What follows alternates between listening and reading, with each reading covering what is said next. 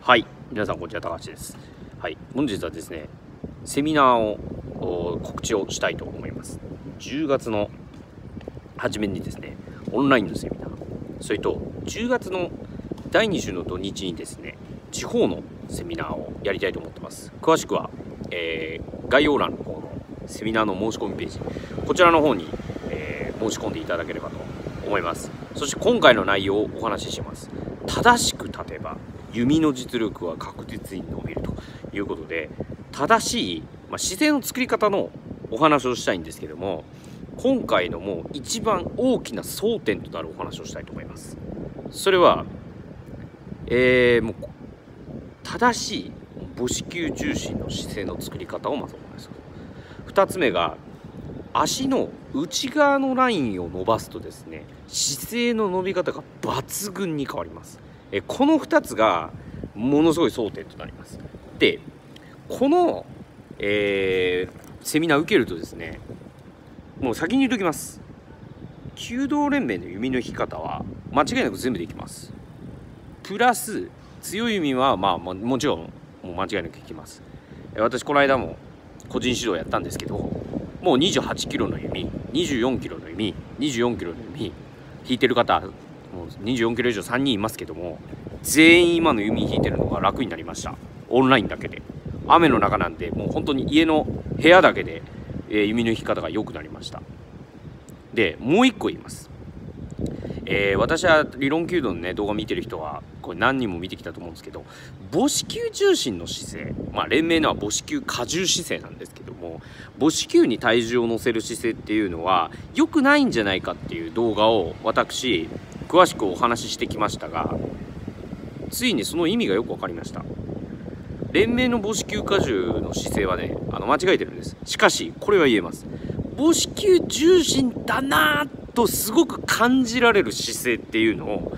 えー、作ることができます、え、つまり何が言いたいかというともう弓道連盟の前かがみ母子球荷重姿勢できます。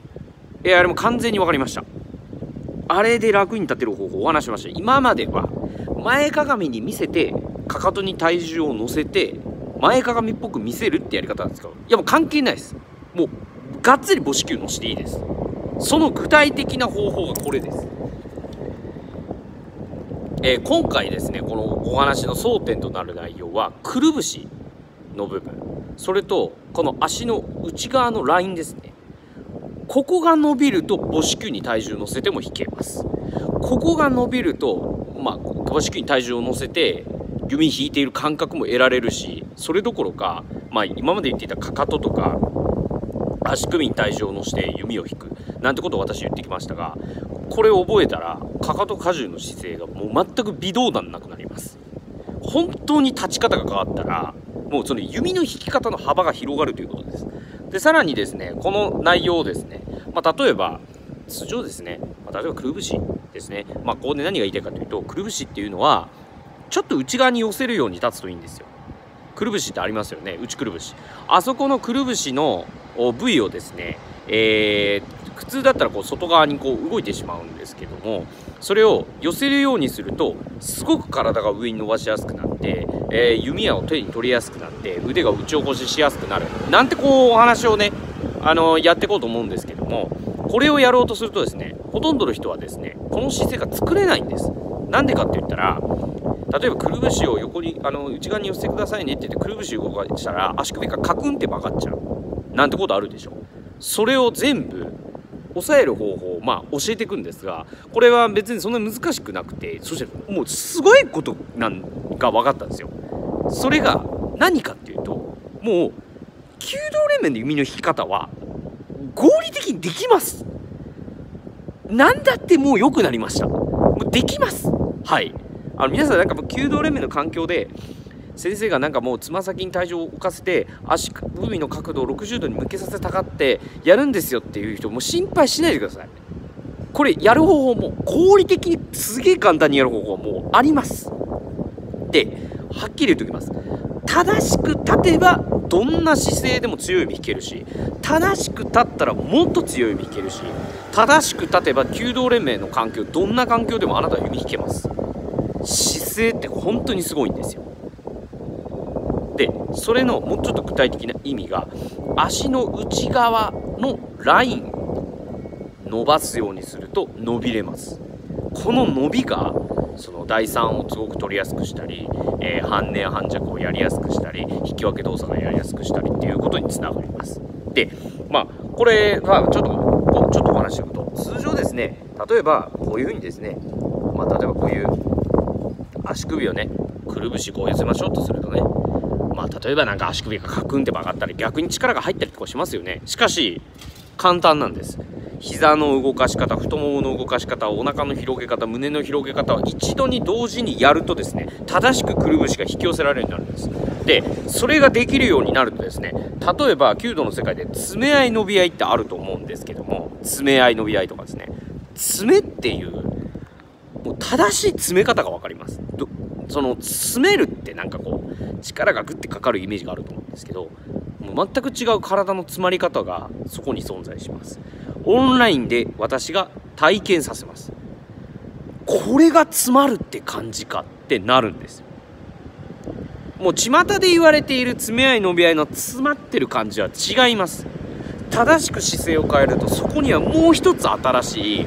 あの体の詰まってる感じっていうのが得られます。それだけじゃないです。もう立ち方が変わるとですねもう手の内なんかもう手首の角度がこうなるかこうなるもうそんな話はもう小さな話で第3を取る時に手首をひねると普通肩に力が入りますよね。ひねったら胸が広がって引きやすくなるんですよ。でこれ爪合い伸び合いとかありますよね。横に引いて体が詰まるとですねより引こうとすると指の反発が詰まるじゃないですか。より引こうとすると手首の力が抜けるんですよ。こういうあなたがこの弓の知識を活かせるか殺せるかはあなた次第。弓を引いて詰まるっていう言葉が筋肉が詰まるように使うのか緩んでるところに詰めて筋肉が伸びるように使えるかはあなた次第です。正しい立ち方を覚えるかだけです。正しく立ってください。姿勢が大事です。姿勢は善です。この姿勢っていうものを徹底的に研究するとですねあなたの悩みは全て解放されます。